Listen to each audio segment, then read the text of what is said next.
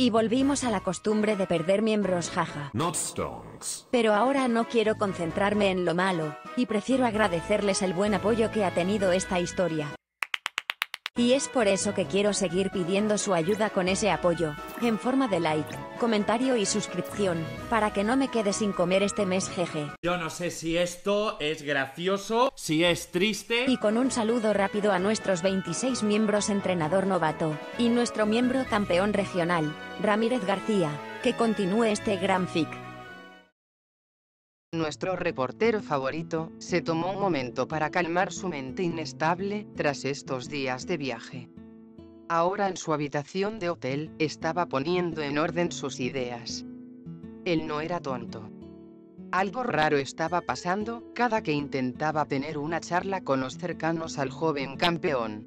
Y por alguna extraña razón, no podía recordar nada. ¿Era prudente continuar con este reportaje? Por supuesto que sí. Él ya había enviado estos dos manuscritos a su superior, que eran obviamente 100 veces más suave que el original que él conocía, pero que aún así para sorpresa fueron un rotundo éxito. Una campeona maravillada por las habilidades del campeón y con pequeñas pizcas de dulzura, así como el de una pequeña joven que en su inocencia, no notaba sus sentimientos surgiendo por una figura inspiradora como el Salvador de Carlos, Ash Ketchum, atrajo mucho rating y compras de su reportaje. Nat incluso se dio el lujo de alquilar esta habitación de hotel, en vez de acampar como siempre lo hacía para ahorrar, y aún así quedarle para pagar su apartamento y comprar mucha comida. La felicidad de él no cabía en su ser, y fijando su meta en Yoto, la última zona donde se le vio a la coordinadora llamada Serena, que parecía estar en un romance con el joven campeón del mundo. Unos días después, como que la coordinadora se fue de regreso a Kalos, Nat se encontró con la noticia de que la agente de Serena le había dado unas vacaciones y no volvería hasta dentro de un mes a la región. Ahora no sabía qué hacer. Si gastara más dinero en pasajes de avión se quedaría nuevamente sin fondos.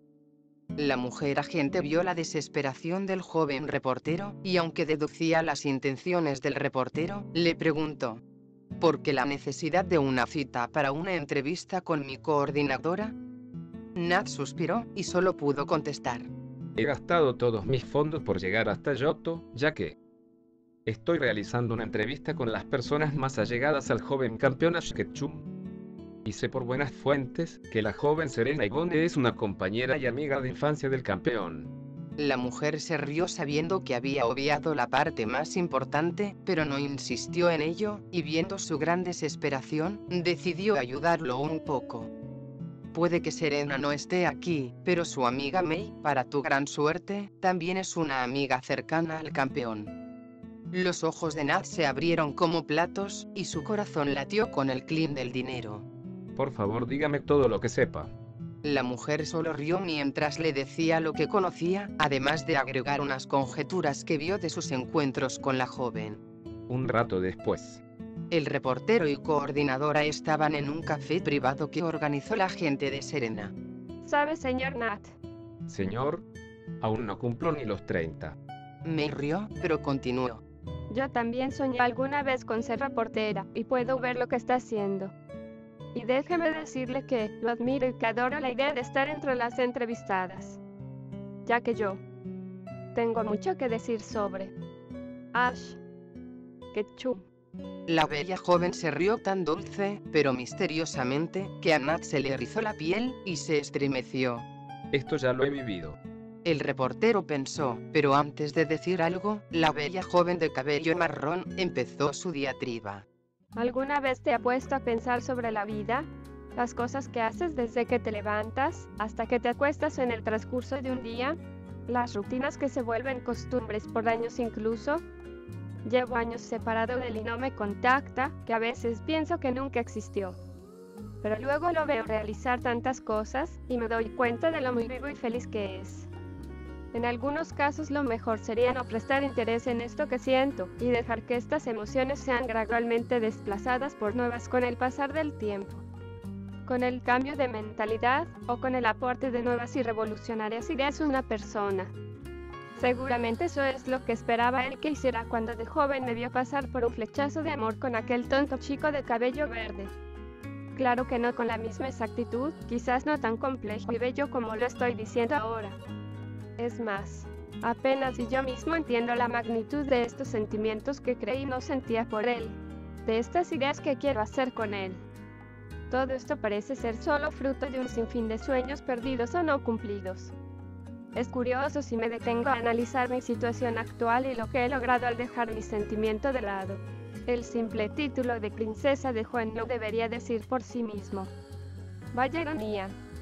May Balance, la ilustre princesa de Juan, se encuentra vacilante ante sus logros, y se preguntan si valían la pena por todo lo dejado. Puede que mi desempeño y mi triunfo así como mi reputación me precedan, pero las bases de esto no son más que el préstamo de aquel a quien en su momento llamé mi maestro, su legado el cual me otorgó, y lo que soy ahora. Así es, fue mi maestro, él fue quien me influyó. Quizás no directamente, pero sí contribuyó a definir mi destino. Es increíble que hayan pasado tantos años de no verlo. Casi puedo decir que fue ayer cuando lo conocí por primera vez en Villarraíz. Yo era tan ingenua y él tan despistado realmente parecíamos ser casos perdidos es curioso que todo esto haya resultado como lo fue.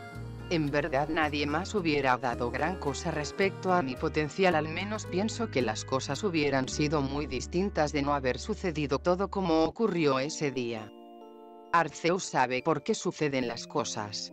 Solo puedo decir que fue una gran suerte haberlo conocido ese mismo día. Cuando que me empecé en el entrenamiento Pokémon ese día cuando conocí a mi querido maestro y gran amigo, aquel chico que pudo haber sido un hermano mayor para mí. Jeje. Ella rió, mientras Nat por reflejo, no paró de escribir todo, embelezado por el nivel de palabra de la joven. ¿Quién iba a pensar que yo tengo ese punto de vista de los hermanos recordando la peculiar relación que tengo con mi hermano menor? Pero aún así eso no cambia mi perspectiva el hecho de que fue mi maestro quien me encaminó para forjarme mi propia identidad.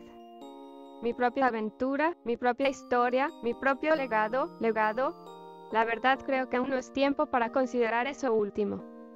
Mi historia ya es grande, pero sin duda no tanto como la de mi maestro. Él lo está logrando todo. Yo sabía que tenía el talento para ser el mejor, mejor que nadie más. De todas las formas, eso solo es un incentivo. La oportunidad no de suplantarlo sino de elevarlo aún más a través de mis logros. Obtener un rango mayor, admitiendo que siempre tuve esa guía no una sombra a la cual rehusar, sino una ala protectora, bajo la cual crecí primero como entrenadora y posteriormente coordinadora Pokémon. Todo ello solo se lo debo a mi maestro, se lo debo a ti. Ash Ketchum que fuiste no solo un tutor, sino también un gran hermano y más aún un gran amigo quizá el más grande que haya tenido. Pero odio no haberte dicho que quise ser algo más que eso. Sin embargo, esta entrevista te podría hacer siquiera mirar hacia donde estoy y decirme si. Si te gustaría viajar nuevamente conmigo. Me rió, mientras el reportero sentía que había acabado, y estaba por sentir miedo por lo que podría venir pero al ver que la joven solo le sonrió y dijo, Fin de la entrevista. Por fin pudo sentirse aliviado, pero luego entró en cuenta de los entrecijos de la entrevista. Señorita May. Esto parece una declaración de amor. Una voz vino detrás de ambos, haciéndolos girar la vista. La sorpresa de ambos fue enorme, ya que se encontraron con Serena. Fin del capítulo.